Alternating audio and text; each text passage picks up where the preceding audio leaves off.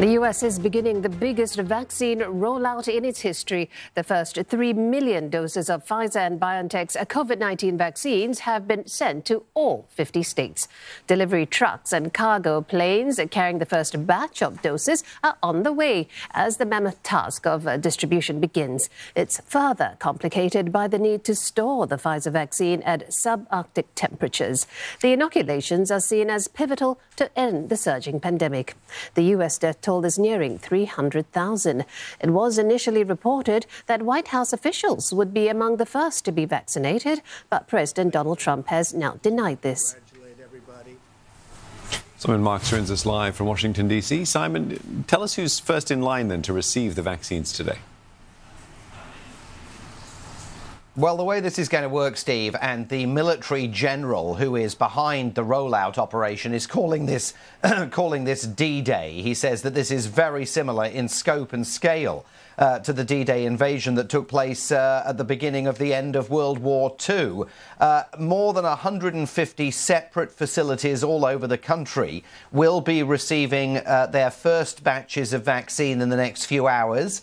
Another 425 facilities all over the country will get theirs tomorrow, and then a further 60 uh, are expected to receive theirs on Wednesday. Each individual state has filed plans with Operation Warp Speed. Uh, that, of course, is the project created by President Trump at the White House to speed uh, the creation and now distribution of the vaccine. And those individual states uh, have filed plans for getting the vaccines from medical facilities in very short order to frontline healthcare workers, first responders, and uh, the uh, long term residents of care homes. Those are the first uh, three groups of people in most states that are going to be receiving the vaccine. But just to give you a sense of the scale of the operation, he, here in Washington, D.C., the local authorities only expect this week to receive around 6,400 doses of vaccine. In Washington, D.C., there are more than 680,000 residents. So that gives you a sense, you know, take those numbers and extrapolate them nationally. Uh, 300 million Americans, only 3 million doses of vaccine uh, being handed out initially. That gives you a sense of how long this entire program is going to take before it reaches the vast majority of Americans. And is that uh, perhaps connected to reports uh, that say President Trump has uh, been asking White House officials not to get vaccinated, particularly from the first batch?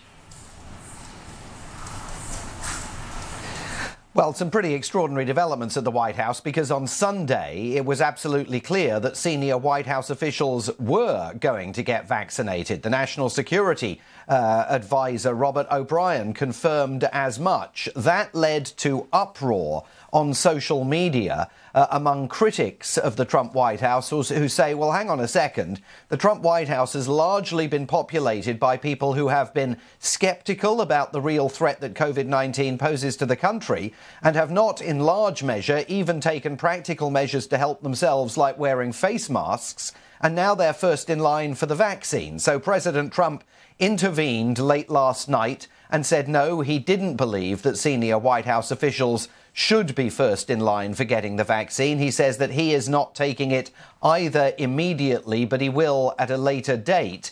Uh, the the issue here is that President Trump, of course, is the probably the one person inside the White House uh, who, by taking the vaccine, might be able to persuade some of his COVID skeptical, vaccine skeptical supporters similarly to take the vaccine. But after uh, the fury that was generated when it was suggested that senior staff throughout the White House would be at the front of the queue, uh, President Trump now finds himself in a bit of a difficult position in that regard.